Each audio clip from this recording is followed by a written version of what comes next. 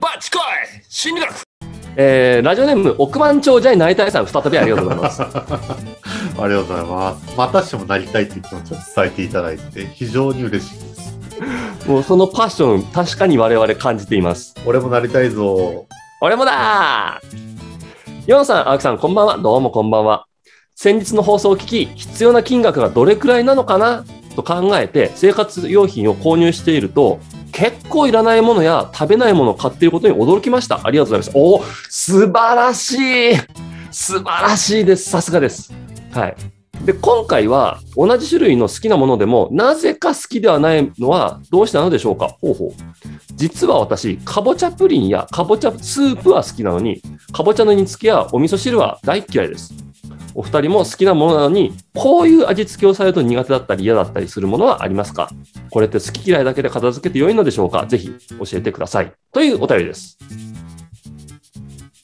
ありがとうございます。まあ、普通にいろいろお金のことについて考えていただいてるのでよかったな。本当にあれは素晴らしいと思います。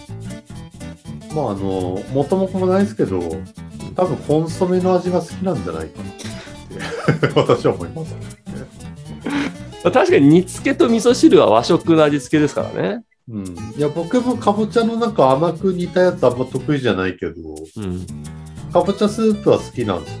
おであー。の多分かぼちゃスープってコンソメが入ってるから好きなだけだと僕は勝手に思っててあれ、他のコンソメ味のやつも結構好きなんだ。いや基本的にコンソメって大好きなんでへー。でなんか甘いものをなんかあの夜ご飯に食べるのってなんかあんまり食べたくないなとかと思う派なんで。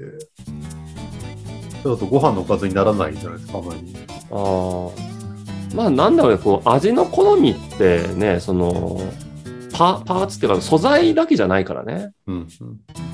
だからね、逆に俺は結構かぼちゃにつけ作る派なんですけど、はいはうんだから冬になったらまあ月に1回か2回は作ってるからさ、まあ結構好きだったりはしますけどい、なるほどまあでも好き嫌いはやっぱりありますからねなんかさ、俺すっごい苦手なものを食い物あげろって言われたらトップ3に入るのがミント味のアイスなんですよ。ああミント自体は好きだし、ガムとかも。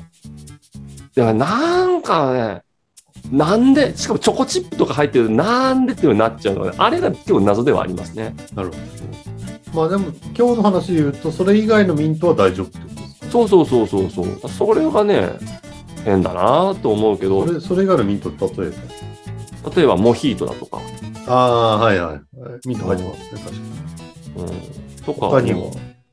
あチョコレートにミントの葉っぱだけ乗ってると全然食えるんですよ。あミント味ってなるとなんか嫌なんですよね。いなるほど。うん、だそれはなんだろうな、やっぱり味覚の好みがやっぱりそのトータルでフィットしてない気がしますけどね。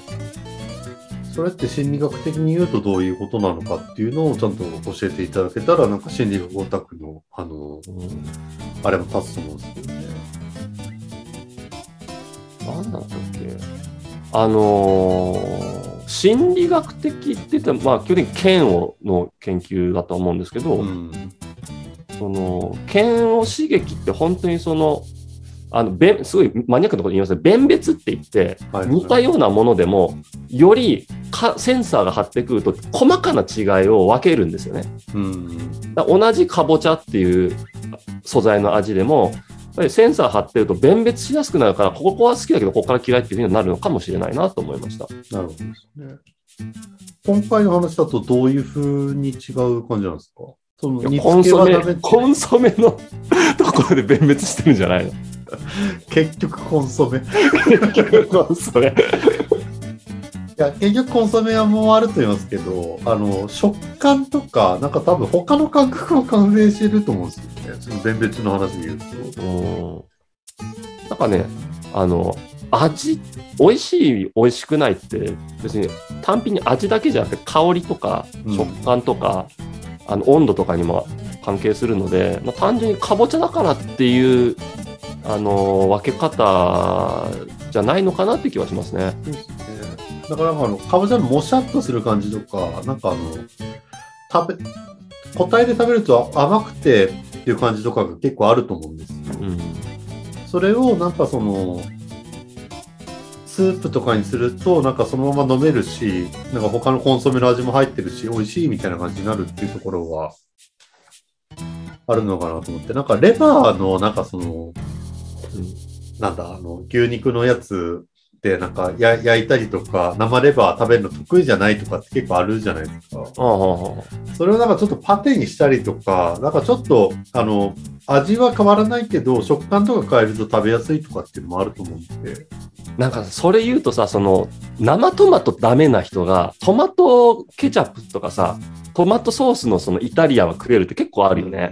そうですねうん。だからその物体は、なんかそのものは同じでも、それこそ弁別っていうところで、なんかその、まあ、味を他の味加えるっていう弁別があったりとか、食感を変えるっていう弁別があったりとか、見た目を変えるっていう弁別があると、あの、苦手意識が、あの、薄らぐっていうことなんですかね。それで言うとやっぱりそのまあ小さい子供にピーマンとか人参食べれない時に小さく切って食べらせるっていうのもあれもまたそういうのですよね。うん。おそらく。だから人間は五感があるので、なんだっけ、目、言えるかな？耳、いやーってだって鼻。あと舌、下。あと触れた感覚、そう。正解！五感！そして4次元空間に行くかどうか。シックスセンス！